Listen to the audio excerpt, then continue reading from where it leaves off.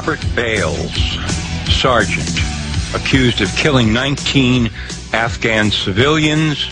You all know the story. It's all over the place. A special guest coming on right now. We're going to discuss this story and the related whole issue of what's going on in the military. But before I bring this man on, I just have to tell you that I don't have too many heroes, but he's one of them. I met him, I'm going to say 25 years ago now. Dr. Peter Breggin, MD psychiatrist, who wrote one of the great books of the 20th century involving science called Toxic Psychiatry that turned my thinking around completely as a medical investigative reporter on what was going on in the entire psychiatric profession with the toxicity of drugs and false diagnoses and so on. And he has stood up against his entire profession practically over the years not only stood up but thrived and stood up against the pharmaceutical companies who have been trying to push psychiatric drugs down people's throats all over the place. And he's worked as expert witness in court on key key decisions involving psychiatric drugs and violence and so on Dr. Peter Breggin, B R E G G I N. I'm spelling it so you'll go to his site, www.breggin.com. Peter, welcome to the show. Uh, John, it's a pleasure to be on for you.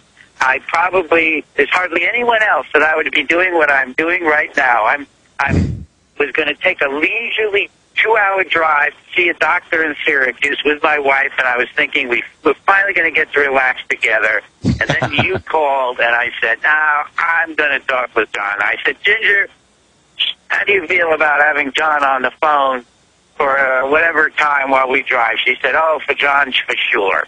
So uh, Okay. here we are. And we're Here we really are, glad- Peter. Th- thanks. I appreciate it. I really do. All right. So we know that this guy, Sergeant Robert Bales, according to some reports anyway, had a head injury, sustained a head injury. And we also know that frequently what follows from that in the Army these days is that they start prescribing psychiatric medications.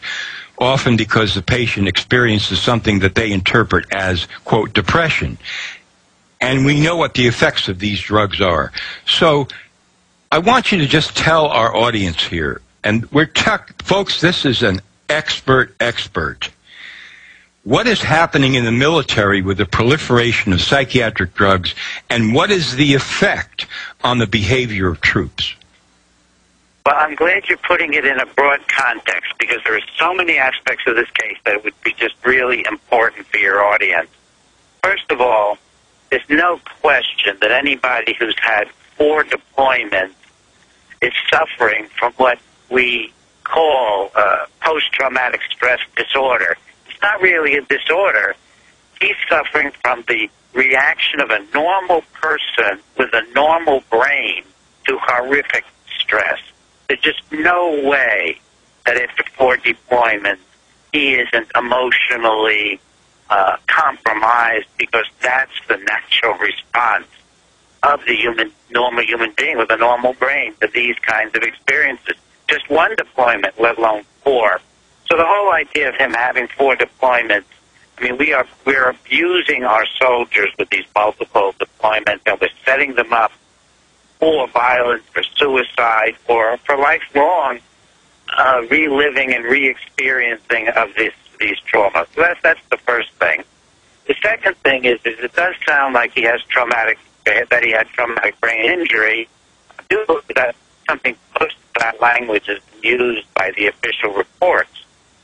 And when you have a traumatic brain injury, interestingly enough, John, it's almost impossible to distinguish it from what we're calling PTSD. Again, I don't think it's a disorder, PTSD. It's a natural reaction. But the uh, it's very hard to tell them apart. The person gets uh, irritable and edgy and easily overstimulated. The person reacts with poor judgment, stresses, feels constantly beleaguered, uh, has difficulty thinking in a, in a normal, uh, quick uh, uh, fashion. Judgment gets impaired. And what happens when they jump in with the drugs, Peter? Well, that that adds to it, interestingly enough, because the drugs produce exactly the same thing. So if you are taking, and, and the odds are overwhelming, and I want to get into that if we can in some detail, what's going on in the service with drugs. But if you're taking an antidepressant, well, what are its common, common adverse effects? Overstimulation, anxiety, jumpiness, hostility, aggressiveness, and a long-term effect of just, you know, you're just not caring about what you do anymore. So we got antidepressants that he's probably been given at some time, almost with certainty at some time. We have the, the head injury. We've got the trauma of these repeated uh, deployments.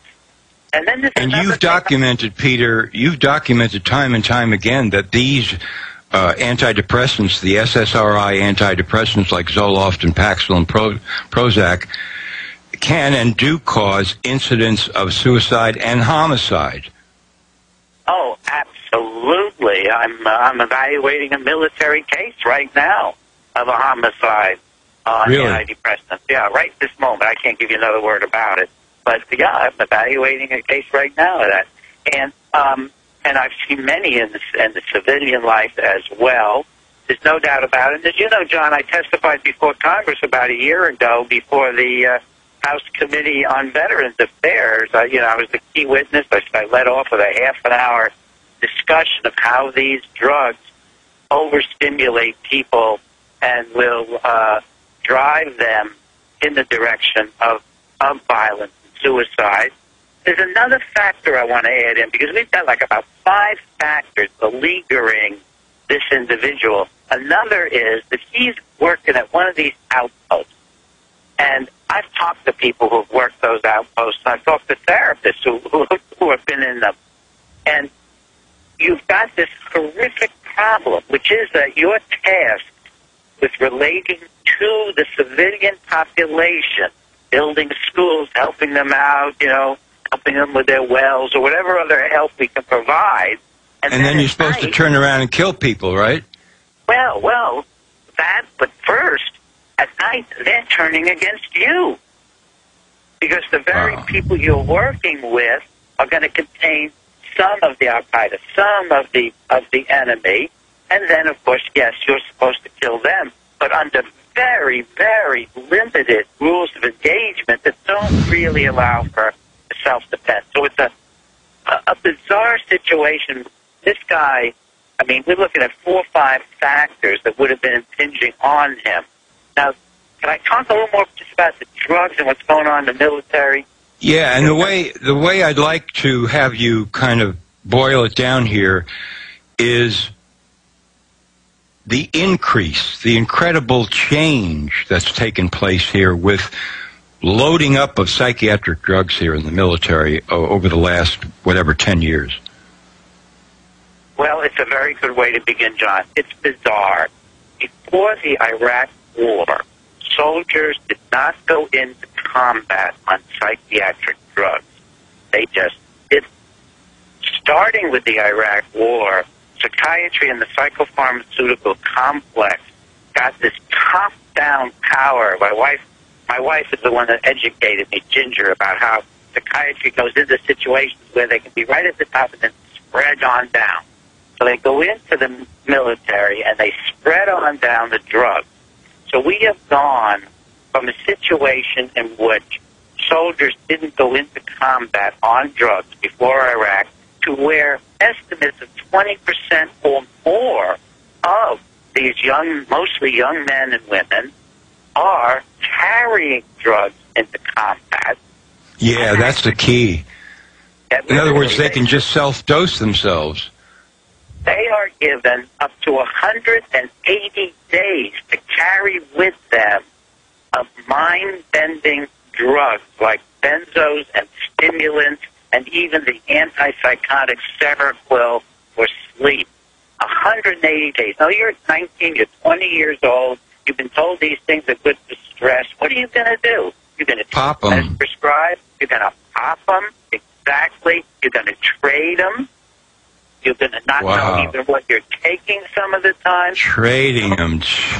Yeah, Or this what is else are you going to do?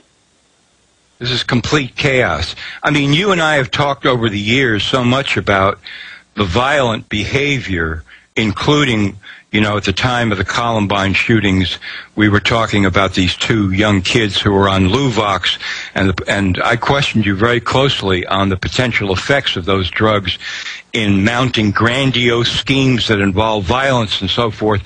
And here we're talking about actually putting, you know, untold numbers of soldiers out on the battlefield under battlefield conditions, under all this stress, with 180 days of these antidepressants and other psychiatric drugs that could cause them to just commit suicide, turn around and kill people, go into all kinds of bizarre behavior. It's nuts, John. It's absolutely nuts, and it's so good that you're you're giving more, you know, more opportunity for people to learn about this. Um, the, you were referring, I think, to Eric Harris and Columbine, and I know for a fact that Eric Harris, who was perhaps the leader of the two boys, was taking uh, Luvox at the time of the shooting. And here, give you an idea, we should address this, how the media is covering up all this. About a year ago, USA Today, less than a year ago, I think, did a review of let's relook at Columbine, and it said flatly, we now know that Eric Harris was taking Luvox at the time of the shooting. So I wrote to them and I said, look, I have the official FDA documentation that he was had a quote. It's so ironic, John. A quote, a therapeutic level of Luvox in his blood on autopsy. Wow. And furthermore, I have the autopsy coroner's report saying the same and, thing. And just so our listeners know, this is another one of these SSRI antidepressants, Luvox, that can indeed, like all of them, stimulate violence, homicide, suicide. Absolutely. And the press, of course, USA Today did not respond to me at all. What a big Uh, surprise that is, huh? You know, they didn't want to change the lie. So much is the money and power. And then, John, why isn't anybody asking the question you're asking? You are the first media person get in touch with me to ask the question about could he have been on psychiatric drugs? The odds are overwhelming that he was. That he was. That You know, we've got another story here, Peter, in San Diego, where I'm from, about this guy, Jason Russell, who was uh, the director of the Invisible Children video that's gone viral, Kony 2012, and then ended up running around on the street naked and doing all kinds of crazy things and is now in psychiatric lockdown in San Diego. I don't know whether you know about this story, but, you know, Yeah. here's Okay, so there's a lot could be said on all different sides of this issue about the video. That's the point of this, though, is, you know, where does somebody suddenly do this? You know, people have now been uh, trained, conditioned to accept this kind of thing. Oh yeah, well somebody walked into a, a school and shot up the school. Oh yeah, well somebody ran out on the street naked. All of a sudden, never did anything like that in his life before. And so again, the question has to be asked. I mean, was he under some kind of psychiatric care? Was he receiving any of these drugs? Did he find somebody who had one of these drugs and he just started taking it? Well, that, that's that's right. I, I think the odds are when an adult in America today has what looks like a manic episode, has something weird, bizarre, overstimulated, grandiose, like running around naked out of the blue. The odds are in America today it was caused by an antidepressant because they commonly cause that behavior. Commonly cause it. Uh, up, up to 20% of people on these drugs develop some kind of overstimulation. You know, the data shows maybe 5 to 15% are going to have something that looks like a manic episode in their lifetime on these drugs. Very, very high numbers. And, um, it, So now let's just let's just look at this for a second, Peter.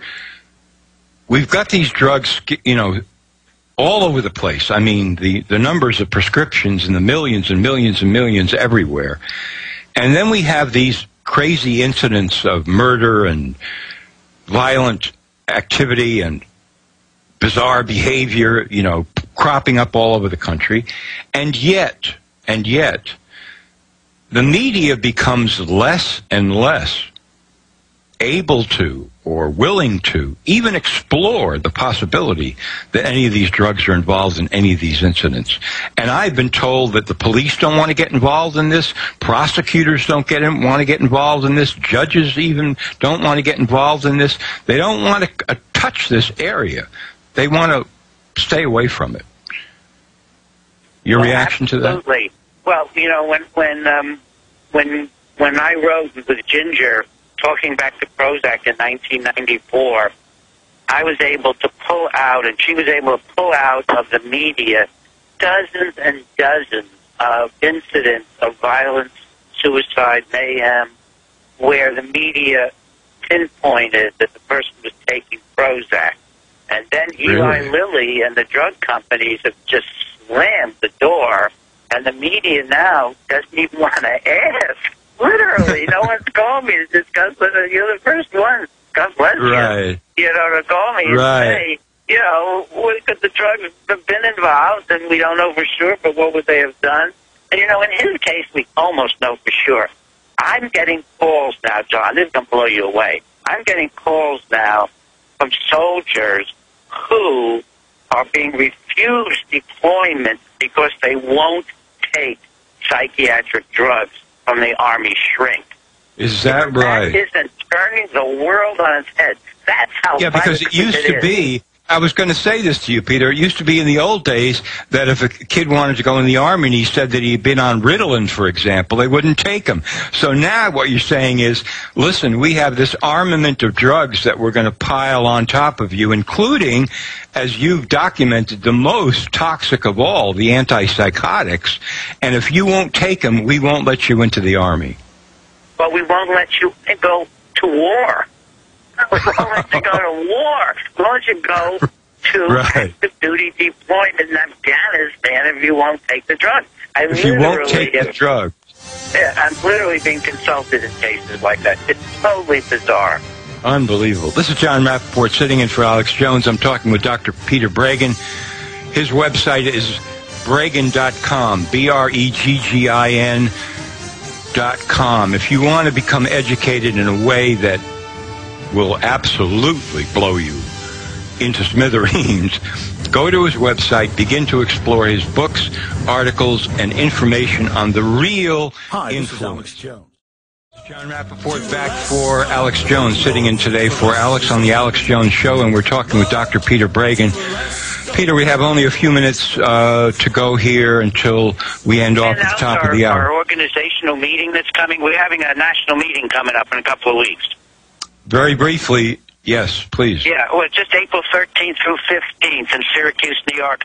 Three days of great people talking about all of these issues, including better health service. You can get it on empathictherapy.org, empathictherapy.org, or my website. Empathictherapy.org. Yes, absolutely. Anything that Peter's associated with, folks, I can tell you is not only first class, but mind blowing.